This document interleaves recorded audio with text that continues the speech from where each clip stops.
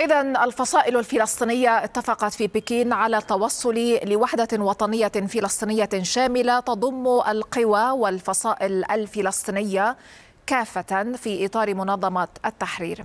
والالتزام بقيام الدولة الفلسطينية المستقلة وعاصمتها القدس طبقا لقرارات الأمم المتحدة وضمان حق العودة طبقا للقرار 194 كما قررت الفصائل الاستمرار في متابعة تنفيذ اتفاقيات إنهاء الانقسام بمساعدة مصر والجزائر والصين وروسيا. انطلاقا من اتفاقية الوفاق الوطني التي وقعت في القاهرة في 2011 وإعلان الجزائر الذي وقع في ديسمبر 2022 كما اتفقت على تشكيل حكومة وفاق وطني مؤقتة بناء على القانون الأساسي الفلسطيني المعمول به على أن تمارس الحكومة سلطاتها وصلاحياتها على الأراضي الفلسطينية كافة بما يؤكد وحدة الضفة الغربية والقدس وغزة.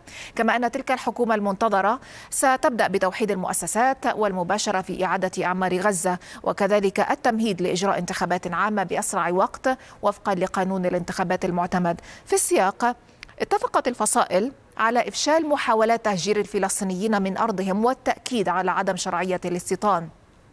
أيضا توافقت الفصائل على العمل على فك الحصار عن غزة والضفة وأهمية إيصال المساعدات الإنسانية دون شروط فضلا عن دعم العائلات والجرحى.